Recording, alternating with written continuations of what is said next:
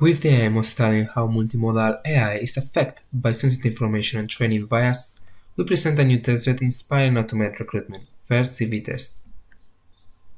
Suppose an algorithm that takes as input a resume and outputs a recruitment score. The CV includes both structured data, such as education, and unstructured data, such as a face photo or a short bio, which are sources of sensitive information that can originate certain biases, for example, gender and ethnicity. We have generated a new dataset with 24,000 synthetic profiles, FairCVdb. Each profile includes 12 features obtained from five information blocks education, availability, previous experience, language proficiency, and recommendation letter, two demographic attributes, gender and ethnicity, a face image from DiveFace database, and a candidate score. We use a linear combination of the merits to assign a score to each profile, using weighting factors generated by human resource expert and adding a small Gaussian noise to introduce a small degree of variability. These scores are used to rank the candidates in a simulated recruitment process. Additionally, we introduce gender and ethnicity biases as penalty factors for individuals belonging to certain demographic groups. We designed a multimodal learning framework including a ResNet 50 architecture and a feed-forward network with two hidden layers with 10 units and one output neuron. The aim of the model is to predict the candidate score using the features available in the profile.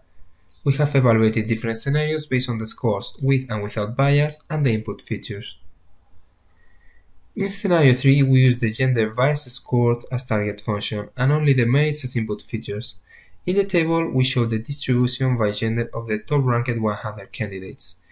Even in the presence of the bias score, the unavailability of the demographic information for training the network results in a fair representation of candidates from both genders.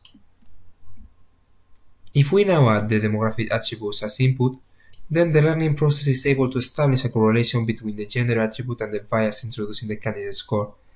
Thus, we obtain a recruitment tool with a strong bias reproducing the bias introduced in the score. We now replace the demographic attributes by the face image, once again with the bias score as target function.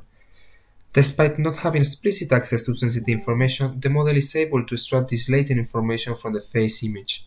Therefore, we obtain another biased model. Finally, with the aim of preventing the learning process to exploit sensitive information, we apply a method capable of removing sensitive information from the feature embeddings, SensitiveNets. Using the new agnostic feature embeddings, the system can extract the gender attribute, and therefore the trained model cannot reproduce the data bias anymore. Our testbed FairCVtest is available in GitHub and a related video demo can be found in YouTube. Search for FairCV demo. Thanks for your attention.